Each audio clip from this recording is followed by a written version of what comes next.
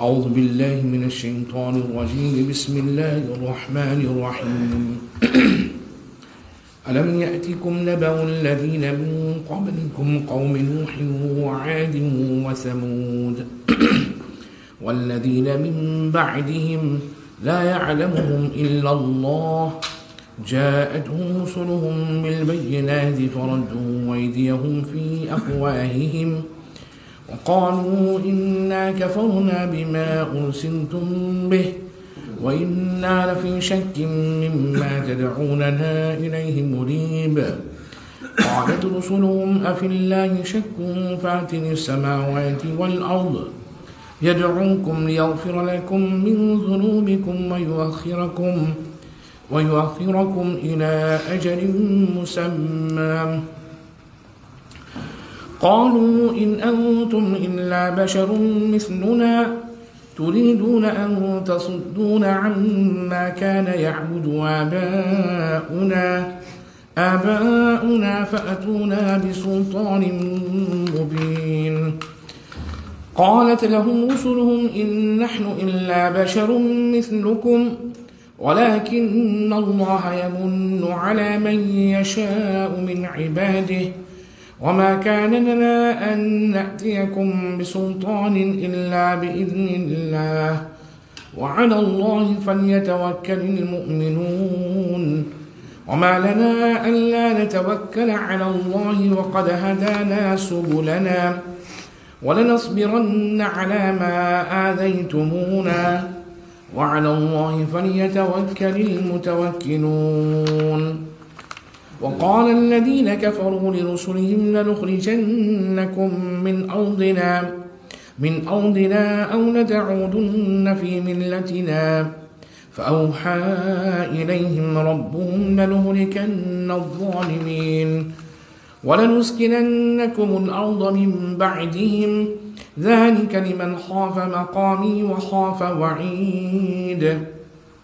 واستفتحوا وخاب كل جبار عنيد من ورائه جهنم ويسقى من ماء صديد. يتجرعه ولا يكاد يسيغه ويأتيه الموت ويأتيه الموت من كل مكان وما هو بميت ومن ورائه عذاب غليظ. صدق الله العظيم وصدق رسوله النبي الكريم Allah Azza wa Jal in verse 9 of Surah Ibrahim mentions First of all, these verses that I'm going to briefly commentate on is where Allah Azza wa Jal is consoling the believers that whenever the prophets of the time and the believers went out to tabligh and convey the message of Allah Azza wa Jal, there have always been oppositions. There always been people who opposed the truth, opposed the haqq, never ready to accept. Even though the prophets of the time by the will of Allah Azza wa Jal, show them many miracles and signs so that they realize and accept that this is the Nabi of Allah Azza wa Jal. And the kalam of Allah is the true kalam and the true words. But instead of actually accepting, they were stubborn, they rejected, and not only that, but they tortured and persecuted the mu'mineen and the believers and even the prophets of the time. So Allah Azza wa Jal mentions here that it's nothing new that if you go through those same situations, same circumstances, where people are being persecuted for the truth, tortured for the truth, for the haqq, it's nothing new. It's nothing new. But in order to gain the help of Allah Azza wa Jal, the most important thing is, as mentioned in another verse of the Quran Kareem, وَإِن تَصْبِرُوا وَتَتَّقُوا لَا يَضُرُّكُمْ كَيْدُهُمْ شَيْئًا that if you are patient, you do sabr, and you implement taqwa, meaning your life should be completely empty of sin, void of sin. Your life should be full of the fear of Allah. taqwa, God conscious. You are completely fulfilling all the commands of Allah. You're a very faithful believer. Then Allah's help will come. Then nothing will harm you. You'll be calm. And you'll understand the will of Allah Azza wa Jal. Allah Ta'ala makes a mention of various prophets and the nations and the people. Alam ya'tikum naba'ul ladhina min qablikum have the incidents of those before you not come to you? Incidents of whom? Allah further on mentions. قوم نوح وعاد وثمود The incidents of the nation of Nuh, Ad and Thamud. وَالَّذِينَ مِن بَعْدِهِمْ And those after them. لا يعلمهم إلا الله Only Allah knows them. جاءتهم رسلهم بالبينات their messengers came to them with clear signs. Clear signs. فَرَدُّوا أَيْدِيَهُمْ فِي أَفْوَاهِهِمْ But they placed their hands in their mouths and said, وَقَالُوا إِنَّا كَفَرْنَا بِمَا أُرْسِلْتُمْ بِهِ Verily we do not believe in what you have been sent with. وَإِنَّا لَفِي شَكٍّ مِمَّا تَدْعُونَنَا إِلَيْهِ مُرِيبٍ We are in such a doubt regarding that towards which you call us that is that cast us into uncertainty. Their messenger said, قالت رسلهم أفي الله شك فاطر السماوات والأرض Are you in doubt regarding Allah, who is the creator of the heavens and the earth? ليغفر لكم من ذنوبكم ويؤخركم إلى أجل مسمى He calls you to forgive your sins and to grant you respite until the appointed term. قالوا They said, in antum illa basharun mithluna. You are but mere humans like ourselves. So basically, when the messengers and the prophets were giving the message and conveying the message of Allah Azza wa Jal, they said, Bhai, how am I going to accept you? You're a human being like me. You're a human being like me. We don't accept human beings with this sort of type of message. If you're an angel, a farishta, or someone else, uh, or some other being, some other species, not human beings like me, like us, then we probably accept it. So that's why they mention this. And many uh, people have this sort of objection that you are like human beings. We're not ready to accept. I mean, bring another species, uh, something out of the extraordinary. Uh, how can it be that Allah choose you? We all one, one jins, one being. And then they would say that one, uh, another reason why they're not ready to accept تريدون أن تصدون عما كان يعبد آباؤنا You intend to forbid us from what our forefathers used to worship. Our forefathers used to worship idols, statues, their ways, the pagans. How can we leave that, what our forefathers were doing, and accept you? And accept your method of worship? No way, no way. For them, it's like a big sin.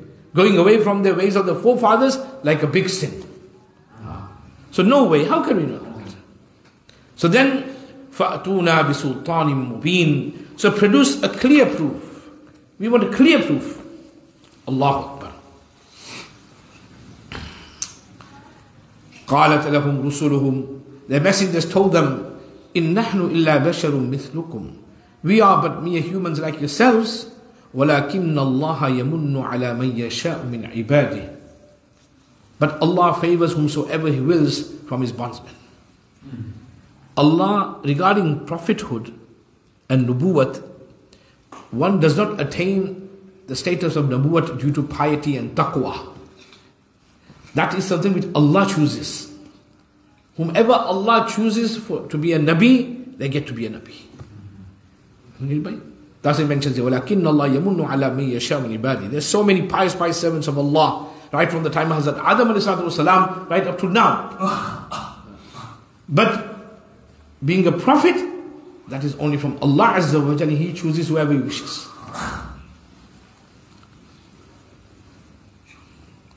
And regarding proofs, more miracles you're asking for, the messengers would reply by saying, وَمَا كَانَ, وما كان لنا أن نأتيكم بسلطان إلا بإذن الله. We are unable to produce a proof for you without Allah's order. Allah gives us a command, then we may be able to carry out the miracle. Otherwise, we cannot. If you want to believe, you believe. But Allah Ta'ala goes according to His timetable, not because according to your timetable. This is a very important part of Aqidah. Allah has His own timetable. Allah Ta'ala want to punish someone, that's according to His timetable. It could be now, could be later, could be 10 years after, could be 20 years after. Allah doesn't go according to how we wish. Allah does how He wishes Himself. وَيَفْعَلُ اللَّهُ مَا يُرِيدُ Allah does whatever He wishes, whenever He wishes. So if you're asking for a proof now, the Anbiya will always say, sorry, no, not now. We cannot say. When Allah says we can do, it's not in our hands. The miracles we've shown you up to now as well, that is all because by the will of Allah subhanahu wa ta'ala. It's not in our hands. Those miracles can only be carried out if Allah gives us the command. So basically, there's no big deal on our part. It is all from Allah Azza wa Jal. In the beginning? وعلى الله فليتوكل المؤمنون Only on Allah should the believers rely. In every walk of life, everything we do should always have trust in Allah Azza wa. Always. And Allah is mentioning here regarding believers. Believers. Not just normal people here. You need believers rely on Allah. They should only rely on Allah. We do what we can, then we rely on Allah subhanahu wa ta'ala. Problem with us, our level of tawakkul is so, so low that even the easy task we can't even accomplish. And these pious people, the Sahaba, you're probably amazed now even when you listen to the incidents. How did they do this? How did they do this? How did they achieve this? Because their tawakkul on Allah was so high, something which was impossible was made possible. And we always crying every day. Oh, we got no money. I haven't this. I can't do this. I can't. Allah. Yes, we make the necessary effort. And the asbab of the dunya. But at the same time, tawakkul Allah is also very important. If that was the case, then the first battle of Badr, eh? Allah Akbar, the first battle, Muslim 313, eh? the Kufar 1000. They hardly had any weapons, nothing. Now, if someone was to look at that way, how could they succeed?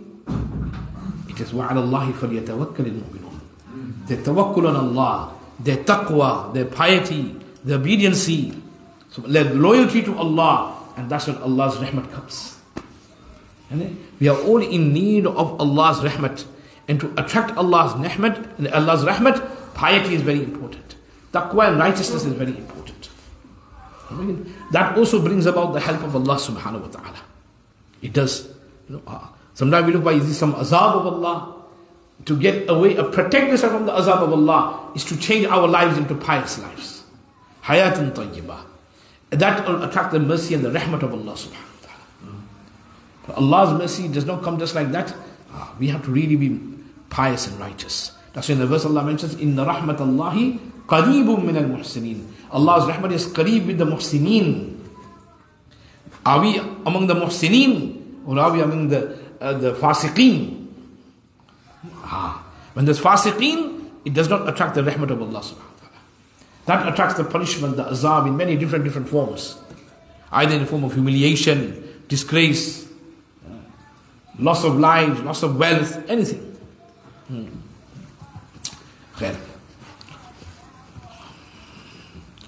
وما لنا ألا نتوكل على الله وقد هدانا سبلنا and then the messengers of the time will also and the believers of the time will give a reason why should they why they put their trust on Allah subhanahu wa ta'ala why they relied upon Allah azza wa jalla they give the reason for that as well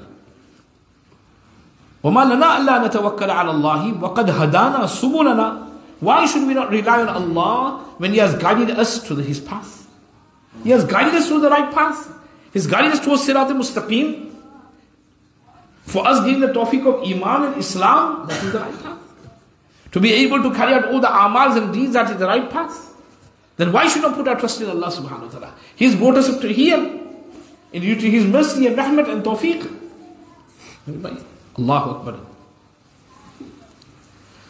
So, in conveying the message of Allah, whatever difficulties we will go through, they mention here that we will be patient, we'll do sabr, and we'll maintain our relationship with Allah Azza wa Jal. وَلَنَصْبِرَنَّ عَلَى مَا آذَيْتُمُونَا We shall definitely exercise patience on the difficulties that you cause us. وَعَلَى اللَّهِ فَلْيَتَوَكَّلِ الْمُتَوَكِّلُونَ Only in Allah should those who have trust place their trust. It is learned from this that those who propagate the truth should expect opposition and difficulties from people. Always remember, it's a sunnat of Allah subhanahu wa ta'ala, right from the time of Hazrat Adam alayhi that those who propagate and convey the true message, the truth, you'll expect opposition and difficulties. If you don't get any opposition, that means you're doing something wrong. Ah, that means you're doing something wrong. You're in the comfort zone. I'm not going to say anything to harm anyone. I'm going to say anything. I'm just keep myself to myself. It's fine. But that's not propaganda. That's not that's not kurbani. Uh, we're getting, we like those people. Oh, he, he's a very good person. He keeps himself to himself. Prays namaz. Go home. He, he doesn't hurt anyone. Uh, you don't speak the truth, you get no opposition. And then, ah, but that person who starts speaking up, ah, I, he's public enemy number one. He's public enemy number one. Then slowly gets opposition. But remember, when it comes to deen and haq, is haq as. When it comes to propagation, true. And it's all from Allah subhanahu wa ta'ala. This opposition is all from Allah. Allah wants to see how strong you are in your in, in your conviction towards the truth. As soon as anything this happens, you just hide away and run away after. Ah. We're only there for the glory days. When the glory days are gone, then we go back. And then, Ah. But these, these times that come, it all from Allah subhanahu wa ta'ala. Is to test our iman, test our faith, test our conviction on Allah subhanahu wa ta'ala. And good days and bad days, that's part of life. Good days and part, bad days, part of life. وَتِلْكَ الْأَيَّامُ نُدَاوِلُهَا بَيْنَ النَّاسِ These are days we keep on turning among the people. Sometimes they have the upper hand, sometimes we have the upper hand. That's life. But as a Muslim, our vision, it should not be just up to the end of this life, it's the hereafter as well. Anybody? Ha. That's why it's all about Allah, Allah, Allah, Allah, Allah. What does it mean? Meaning we are all going to return to Allah. and we all have to answer to Allah. Whether we done good, whether we done bad, whether we've gone through difficult times in our lives, it's not hidden from Allah subhanahu wa ta'ala. Allah is watching, and for every thorn that we get pricked with, there is ajr and sawab for that as long as is sabr and we remain steadfast upon our deen and our full trust is on Allah subhanahu wa ta'ala. Life is short.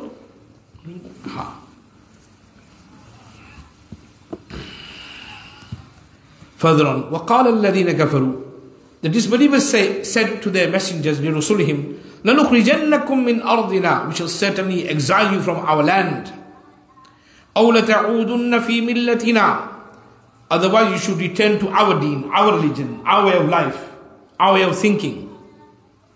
فَأَوْحَى إِلَيْهِمْ رَبُّهُمْ لَنُهْلِكَنَّ الظَّالِمِينَ The Rabb sent revelation to them, we shall surely destroy the oppressors. وَلَنُسْكِنَنَّكُمُ الْأَرْضَ مِنْ بَعْدِهِمْ And we shall definitely settle you in the land after them. ذَلِكَ لِمَنْ خَافَ مَقَامِي وَخَافَ وَعِيدٍ This is for him who fears standing before me and who fears my warning. وَاسْتَفْتَحُوا They sought a decision. وَخَابَ كُلُّ جَبَّارٍ عَنِيدٍ And every obstinate tyrant was unsuccessful. Throughout history, those who were the zalim, the tyrants, the oppressors, they've never been successful. Never been successful. And it's been mentioned in the Quran Kareem regarding Fir'aun and many other big tyrants. How Allah gave them so much power, but they abused that power in oppression, in cruelty. did they last for long? They also did. They also departed. So take solace and comfort from this that it doesn't last forever and ever and ever because they're not going to last forever and ever and ever. They will leave the dunya. And we shall leave the dunya.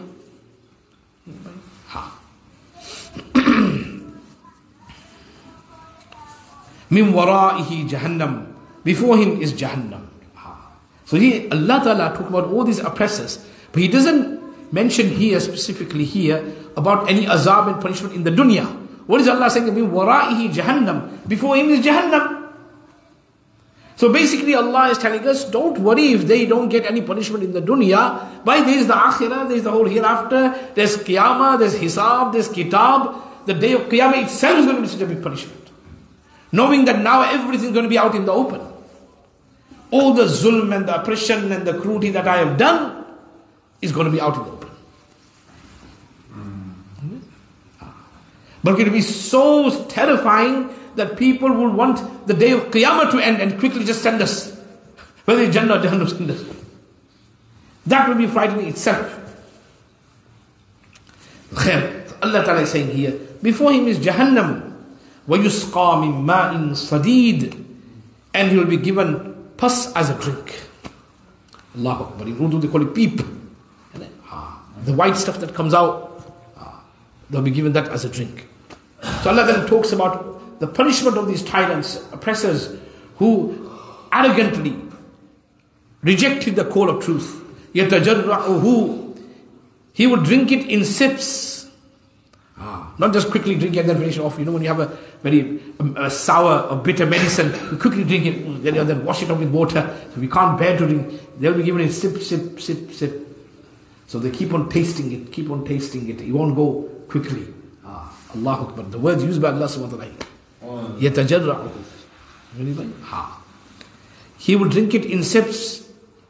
And look, amazing, and Allah mentions here, وَلَا يَكَادُ يُسِيرُهُ And it will not go down his throat. It will not go down his throat. Ki chalo, kissa khatam, it's gone down the throat, it's all ended. No. Allah, that, That's just one type of punishment Allah is mentioning here. A person going to be in hell forever and ever and ever. How good? وَلَا يَكَادُ يُسِيهُ And it will not go down his throat. وَيَأْتِيهِ الْمَوْتُ مِنْ كُلِّ مَكَانٍ Allah. Death will come to him from all sides. وَمَا هُوَ بِمَيِّتٍ But he will not die. In normal circumstances, someone was to drink this, they'll die. The punishment that they'll go through in normal circumstances in the dunya, they'll die and kaput and end. But in the akhir, in the hereafter, there's no death. So basically, uh, yazuq al azab. They'll keep on tasting the punishment. They'll keep on tasting it. It won't end, there's no end. He'll be hoping for death, but there's no death. Death only happens between this life and the alam barzakh, that's it. That is only that one second or two minutes, two seconds of that transaction from this world to the alam barzakh, when we die and our soul is taken. That is only taste. That is only death. That's why Allah using the words, kullu nafsin dha'iqatul maut. You only taste it, that's it. it's a state after that. After that, no death to come after that. Only for that one second. It's not a long period. Then it comes to alam barzakh, when the ruh is somewhere else, the body is there, and then it's connected, the ruh is connected to the body. Just like when you have a phone call, you're connecting, and it's this connection. And see, that's what happens. Allah Akbar, Allah Akbar. Death will come to him from all sides, but he will not die. وَمِن وَرَائِهِ عَذَابٌ غَلِيظٌ Before him will be severe punishment. Severe punishment. Allah wa ta'ala in these verses is giving us all a warning. That we are going to depart from this world. Akhirat is haq, Qiyamat is haq, Jannat is haq, and Jahannam is haq. And Quran is a book of guidance. So let's live our lives in such a manner that we are protected from Jahannam and the azab of Jahannam. And Allah grant us entry into Jannah and paradise. And may He be pleased with us. Subhanallah bihamdihi.